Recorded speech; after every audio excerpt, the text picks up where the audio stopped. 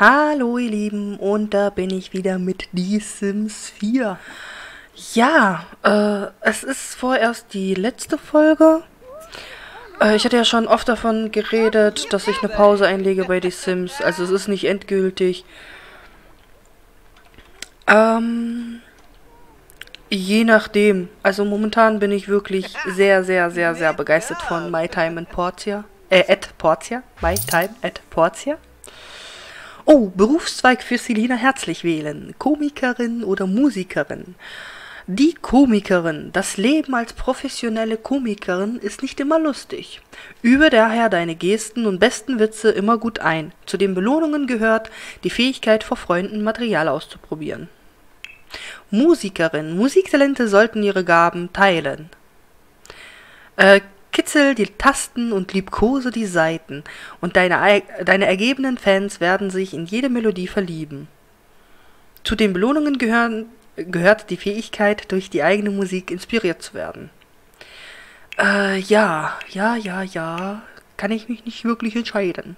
Eine, meine, mu, und raus bist du, Komikerin. Gut. Ja. Okay, also Beförderung zur Ulknudel. Selina wurde befördert und ist jetzt Ulknudel. Sie verdient jetzt 13 Simoleons mehr pro Stunde. Was einen Stundenlohn von insgesamt 67 Simoleons pro Stunde ergibt. Sehr schön. Okay. Äh, wir gucken mal. Äh, du schläfst, du nicht. Du solltest auch ins Bett gehen, ja, weil du bist auch schon hundemüde. Dann geh mal lieber auch schnell ins Bettchen. Wie dein Brüderchen. So, was macht die Mama? Ach, die ist eben gerade erst nach Hause gekommen. Das macht die Mama.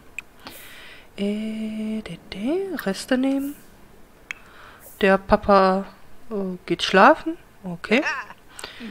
Äh, du bist ausgeschlafen. Das Einzige, was bei dir ist, du musst ein bisschen auf Toilette. Was lernst du denn gerade? Ah, sie lernt, glaube ich, gerade tippen, oder? Ja, genau. Okay, dann wollen wir sie nicht stören. Die beiden schlafen jetzt. Äh, zurückgelassen. Naja, die Eltern sind ja nicht wirklich weg. Oh, was ist hier? Müde. Okay.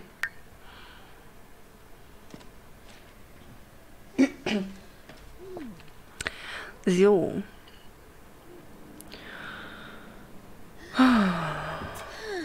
Ja, genau.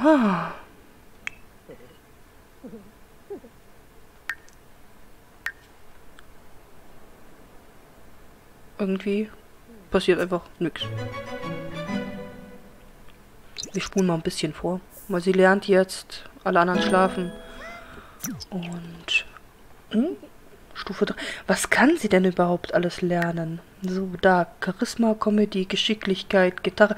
Also kann sie einfach ganz normal alles lernen. So. Und... Wer hat... Ups. Äh, der Motor Motorikfähigkeit. Aber hier ja nicht. Ah, ehrlich. Oh, es tut mir leid. Ich sollte vielleicht auch mal...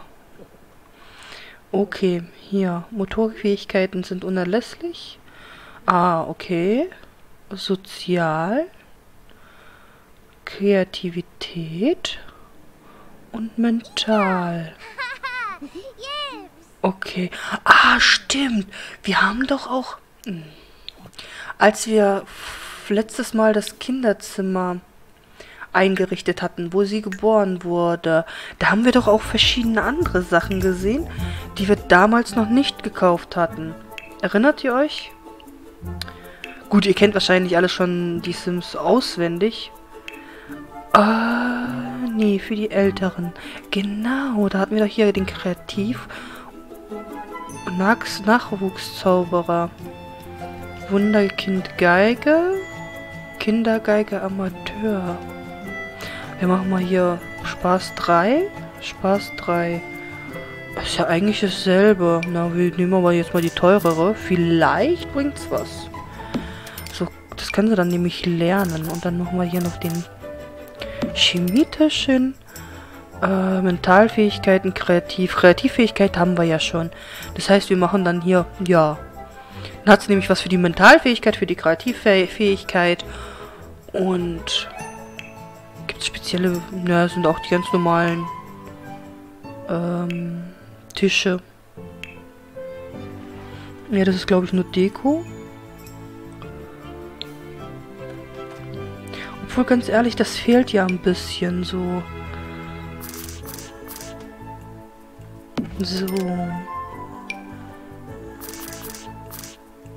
Hä?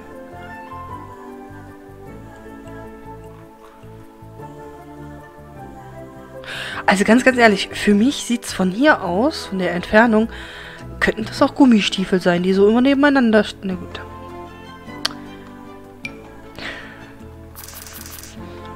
Gut, und wo ist das Schuhregal für Kinder? Hätte ich halt einfach nur gerne. So. Schulranzen, ein bisschen dekorieren hier. Damit es auch ein bisschen realistisch aussieht.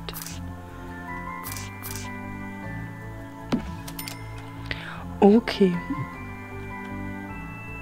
Ach, das geht gar nicht. Geht nur erst, wenn man Profisportler ist. Gelehrter Stapel. Ja, dann machen wir das hier noch auf den Tisch. Ah, es geht leider nicht weiter nach hinten. Machen wir das eher so hin. Gut, wir lassen das jetzt so. Ein bisschen dekoriert. Äh, so. Dann spiel noch mal ein bisschen Geige. Ach, das ist ja die Kreativität. Ah, vielleicht lieber chemietisch. Ah, du gehst immer auf Toilette. So, und ich überlege mir jetzt noch, was du jetzt zuerst machst. Hausaufgabe abgeschlossen. Erhalte eine Fähigkeit, um Level 2 zu erreichen. Okay. Naja gut, wir wollen ja auch, dass unser Kind einfach der Überflieger wird. Kann sie ja ein bisschen experimentieren. Ich hoffe, sie macht nicht irgendwie alles kaputt und das komplette Haus brennt ab. Oh, hast du schlecht geträumt? Hm. Gut, Mama, aufstehen. Mäuschen hat schlecht geträumt. Musst du trösten.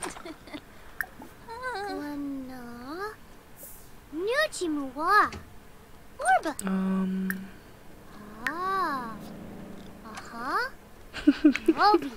oh, der Arme. Weckt einfach Papa. Äh, weckt er einfach Papa. Der Mama steht auf, geht auf Toilette. Anstatt sich um das weinende Kind zu kümmern.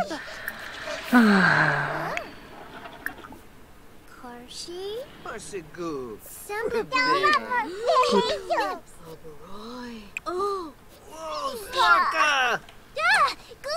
Wieso hat sie so komisch ins Waschbecken geguckt? Muss ich das verstehen? Aha. Muss ich das verstehen? Aha. Ach, er bringt ihn wieder ins Bett. Okay. Äh, kann man nicht rückgängig machen, nee.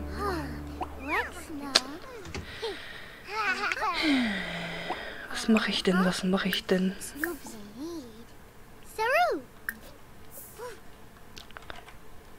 So. Eigentlich können die alle mal ein bisschen schlafen. Für, für die nächste Staffel. Exklusiv dann mit vier Kindern.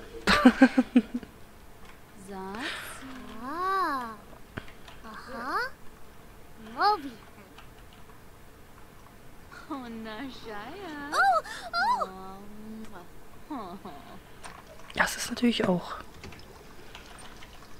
Ganz ehrlich, das hätte ich auch gerne als Kind gehabt. Oh, die Kinder schlafen und die beiden da im Hintergrund. Nee. Nee, nee, nee. Schämt euch. Ihr beiden, schämt euch. Immerhin haben sie die Kinder ins Bett gebracht. Ein Pluspunkt wenigstens.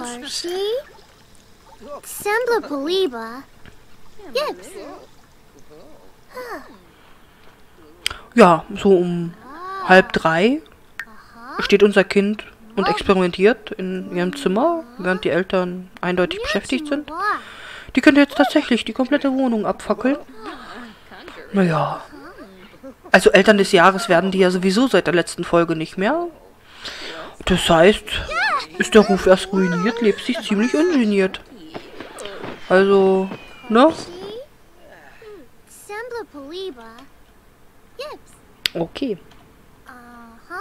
Also ich muss ganz ehrlich sagen, äh, bis jetzt äh, hat ja der Tivan eine 150-prozentige Trefferchance.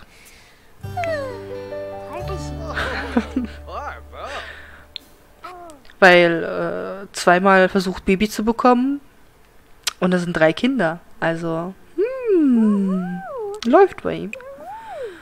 Also Reste nehmen und dann... Also eigentlich geht's dir doch gut. Wieso hast du nicht einfach geschlafen? Gut.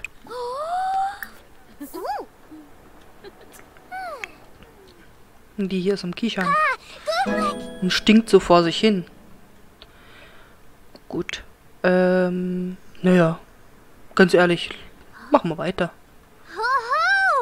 Weil solange wie es ihr gut geht, die gute alte Zeit, wegen guter Kleinkindzeit, die sorglosen Tage als Kleinkind waren doch die schönsten.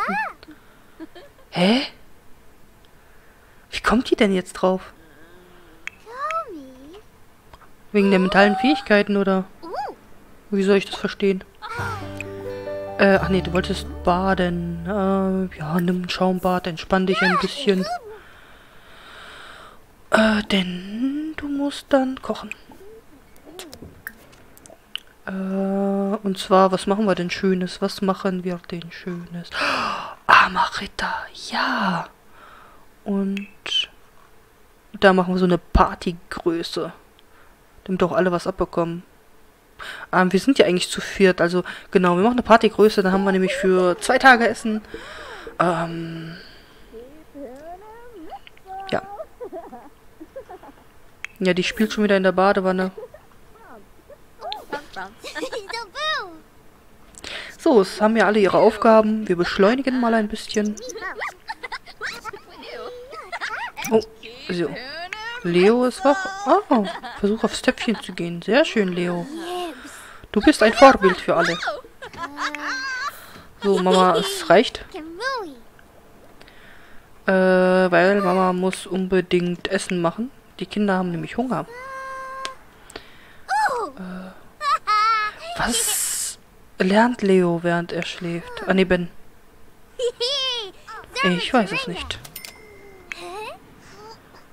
Er lernt auf jeden Fall aufs Töpfchen zu gehen. Scheint nicht so ganz zu klappen. Hm. Albtraum gehabt. Ach, Mäuschen. Okay. Äh, nachdem fertig bist mit Kochen, müsstest du hier mal aufräumen.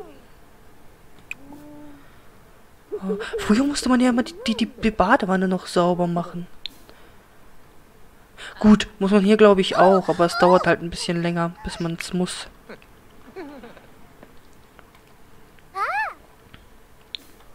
So, die Kleine kann ja duschen gehen. Hm, Mama, nachdem du das Essen gemacht hast, äh, de, de, badest du den Leo. Genau. Äh, da, nach dem Duschen... Ja gut, sie hat noch nicht wirklich Hunger.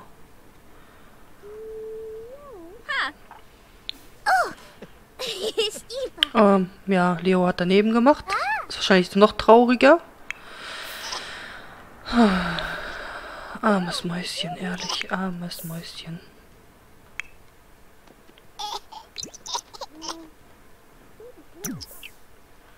So. Sie hat ihn eigentlich auch hier unten. Ja, gut. Jetzt, jetzt ist es zu spät. So, Papa, was ist mit dir? Naja, okay, gut, er ist immer noch nicht ausgeschlafen und er muss ja in vier Stunden zur Arbeit. Und er hat seine Aufgabe noch nicht gemacht. Äh, tja, Papa, arbeiten geht vor. So, dann geh mal los. Weil gegessen hat er. Weil wenn er, glaube ich, hier Level 4 erreicht, dann sieht es gut aus. Sogar sehr gut, dass er dann vielleicht sogar doch noch befördert wird. Also, gut. Okay. Nachdem du gebadet bist, kannst du dann sofort essen gehen, Mäuschen. Das Essen steht schon da. So, äh... Genau. Ja, das reicht jetzt auch. Geh duschen, dann nimmst du dir ein Gericht und kannst schon mal essen. So. Mama, für dich geht die Arbeit auch weiter. Und zwar, du hast ja noch ein anderes Kind und der hat eigentlich nur Hunger. Okay. Das heißt, Mama, einfach nur sauber machen. Planschen. Okay. So, und du gehst auch runter und holst dir was zu essen. Äh, du, nachdem du hier fertig bist, macht sie auch was oder steht die da einfach nur und guckt einfach komplett entgeistert? Huh. Okay. Äh, machst du mal einen Schwangerschaftstest und verwendet, ver verwendest es. Wobei eigentlich, wenn du den Schwangerschaftstest machst, kannst du eigentlich auch pinkeln gehen, aber... So, ein Gericht nehmen und Papa, du musst arbeiten. Äh, ja. Oh, erst 50% erledigt und sind noch zwei Stunden. Na, jetzt schon 75. Ah, ich glaube hier Stufe 4 erreicht er nicht mehr. Ich glaube, das dauert noch ein bisschen länger. Oh, Tati. Hat Level 3 der Sozialfähigkeiten erreicht. Sehr schön. Und Essen für zwei. Ja, herzlichen Glückwunsch. Jetzt gleich dem Papa erzählen. Ja, übrigens. Haha. Tevene Elfris? halt die. Ja, wir sind schon wieder schwanger. Also, gut.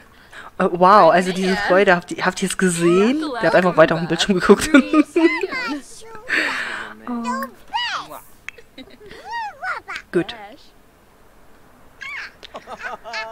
Naja, gut, er freut sich, er freut sich. Grußneuigkeiten von der Ankündigung eines neuen Familienmitglieds entzückt.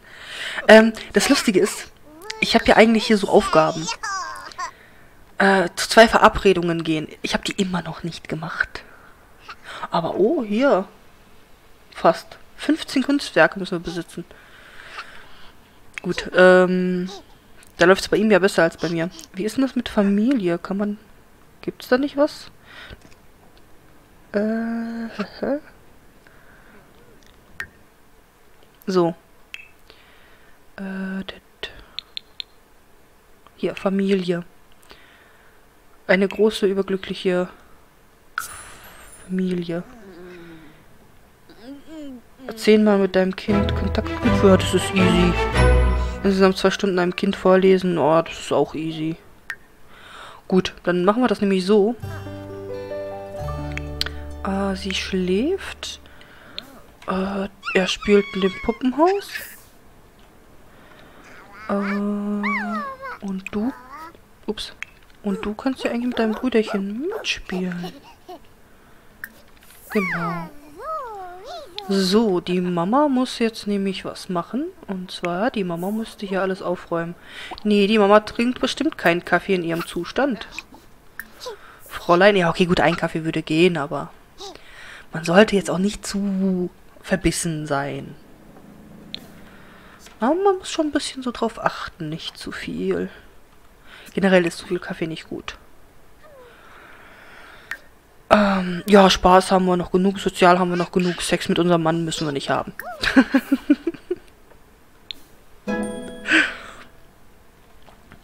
okay, Tion hat es geschafft. Und sogar noch bevor er zu arbeiten muss. Oh, er hat sogar noch drei Minuten Zeit. Super. Äh, ja. So, tatsächlich hat das noch geschafft. Sehr schön. Mal gucken, ob das eine Beförderung gibt. So, ihr beide. Ach, die erzählen, erzählen sich gegenseitig Klopf-Klopf-Witze. Ja, das machen Zweijährige so. Oder sind sie eins? Ich weiß es nicht.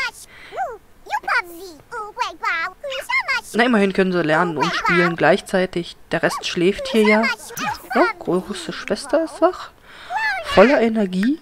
Ähm, was möchtest du machen? Ein Glas Milch trinken? Ja, ganz ehrlich, musst du jetzt nicht machen. Ähm, du könntest auch ein bisschen was lernen. Was hältst du davon? Findest du schön? Vielleicht auch nicht, aber... Oh. Äh, Formen und du spielen. Okay. Steigert ja auch mal die Kreativität. Yeah. Ich wusste es. Ich wusste es. Verdammt. Und dann auch noch. Oh, ruf die Feuerwehr. Rufst du die Feuerwehr?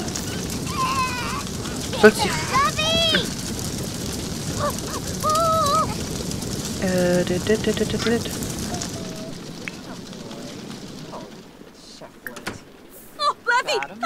Kannst du vielleicht auch bitte das zweite Kind holen? Nö? Dein Ernst? Ach, die kommt ja gar nicht raus. Das war klug. Ehrlich. Ähm.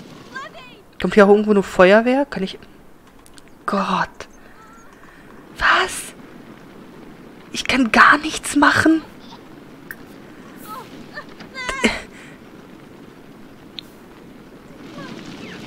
Ehrlich?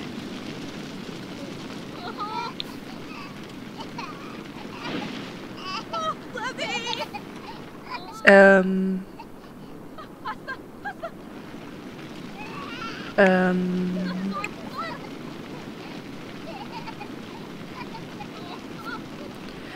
Okay, so. Ben hier absetzen. Und dann musst du da einfach wieder rein und das Feuer löschen. Oh Mann.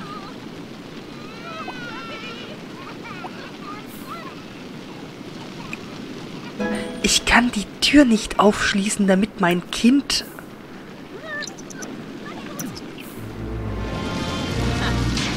Selina hat einen Brand entdeckt, ja.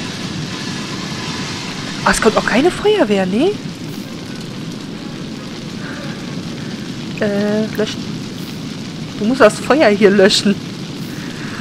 Oh Gott, nein. Lass das Kind jetzt in Ruhe und löscht das Feuer. Die läuft da einfach mal eiskalt durchs Feuer. Oh, kein Problem, kein Problem. Aber kam unten nicht die Feuerwehr?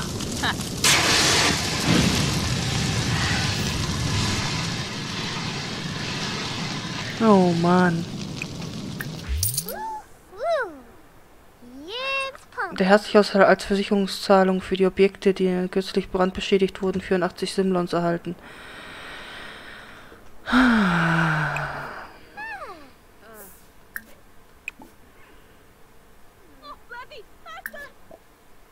Nee.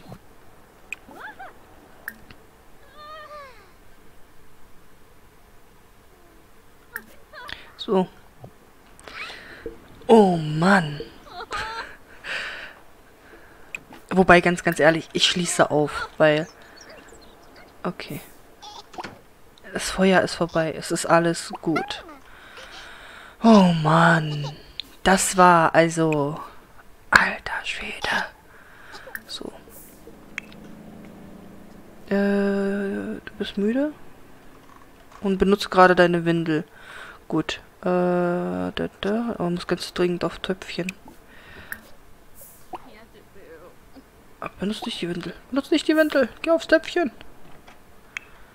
Ähm, du kannst ja... Huch. Beim Ben. So.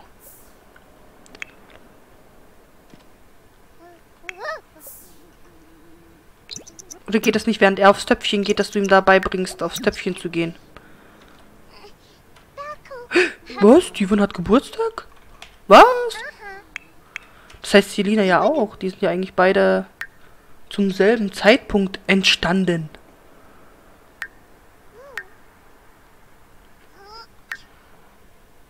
Tatsächlich, noch zwei Tage. Hm, Selina braucht noch sieben Tage. Was sagt das über Männer aus? nee, aber mal ehrlich, wieso? Es ist seltsam, tatsächlich. Es ist tatsächlich echt sehr, sehr seltsam. Gut, ähm...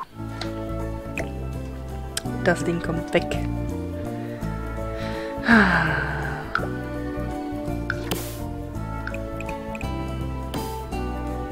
Hey, bleibt das Schwarze jetzt für immer? Kann man das noch irgendwie wegräumen? Ich, ich hoffe. Ähm, ansonsten stellen wir natürlich einen neuen äh, Tisch hin. Machen aber diesmal vielleicht noch einen Brandmelder mit dran. Wäre ja, glaube ich, so gar nicht verkehrt. Ja. Ähm, haben wir hier unten überhaupt einen Brandmelder? ja, natürlich nicht. naja, gut, ich bin ja auch so eine super Köchin. Da. Wie in der ersten Folge. Ups. Da brennt einfach nichts. Ähm, okay. Ah, die sind jetzt auch alle fix und fertig. Ehrlich, die sind alle fix und fertig. Oh Gott, ich auch. Putzen mit Elan. Oh, pass auf. Ich muss das lernen, wie man mit Elan putzt.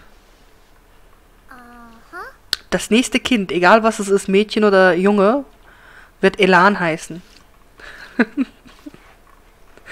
putzen mit Elan. Da kann man nicht auch immer noch sagen, putzen mit Ellen. Aber Briefträger, nee, geh weg. Ich möchte jetzt nicht. Die ganze Zeit auf Post gewartet, jetzt ist es soweit. Okay, da bist du. Ich würde gerade sagen, hey, da fehlt doch ein Kind. Okay, du darfst auch schlafen gehen. Ja, sind halt einfach alle fix und fertig die Mama ist ja auch schwanger und dann passiert noch sowas und die Kinder und dann musst du da schwanger reinrennen und löschen und puh. Sagen wir es mal so, das ist kein Zuckerschlecken. So. Feuerwehr. Das mutige Löschen eines Brandes kann das Selbstbewusstsein eines Sims erheblich steigern. Okay. Muss pieseln.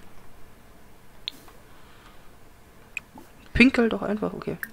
Wie ein Champion pieseln. Genau so.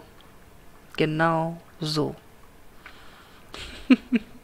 also nicht normal, nein. Wie ein Champion. Drauf los pieseln. Ähm. Wer bist du? Wieso klopfst du an meine Tür? Das war echt gruselig. Der klopft an meine Tür und dann lacht er. What the... Gut.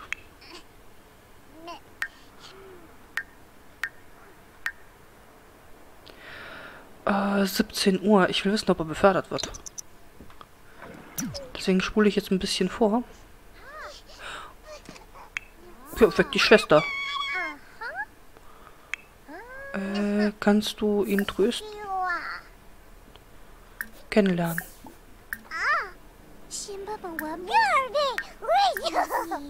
Ah ja, da trösten. Wenn die Mutter es schon nicht macht, muss es halt die große Schwester machen. Oh, da erreiche Level 6 der Comedy-Fähigkeiten. Oh.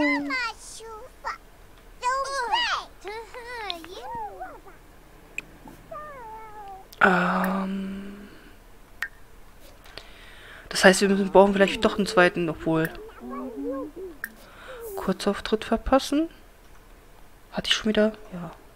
Aber hatte ich ihr nicht gesagt, sie soll essen? Ha. Komisch. Okay, sie ist angespannt wegen des, ja, wegen des Brandes. Oh, wieso weinst du denn? Wieso weinst du dann? Deine Schwester hat dich doch schon getröstet.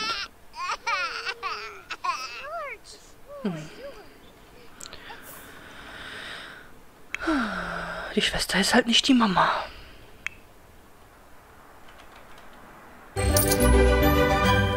Ja, Beförderung zum Projektmanager. Divan wurde befördert und ist jetzt Projektmanager. Er verdient jetzt 11 Similons mehr pro Stunde, was ein Stundenlohn von insgesamt 80 Similons pro Stunde ergibt. Du, du, du, Gut. Und jetzt gehst du und tröstest deinen Sohn. Willkommen zu Hause. Äh, und ins Bettchen bringen. Kennst du ihn? Weil du musst ja auch selber ins Bettchen. So, dann gehst du auf Toilette und dann kannst du schlafen. Äh, und du, was machst du? Äh, du musst... Nein, nicht programmieren üben. Du musst Comedy Kurzauftritt verpassen. Äh, verfassen. Verpassen.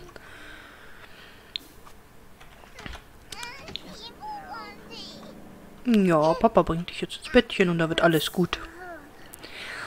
So, mitten im Leben. also, ihr Lieben, ich danke euch fürs Zuschauen und äh, es geht dann weiter mit Season 2.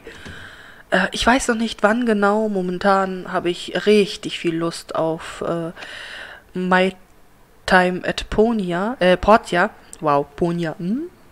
Ponia auch. at Portia. Und äh, ja, es wird dann auf jeden Fall nochmal weitergehen mit äh, Die Sims 4. Wann genau kann ich noch nicht sagen, weil wir wollen ja noch umziehen und äh, ja, danke euch fürs Zuschauen und bye bye.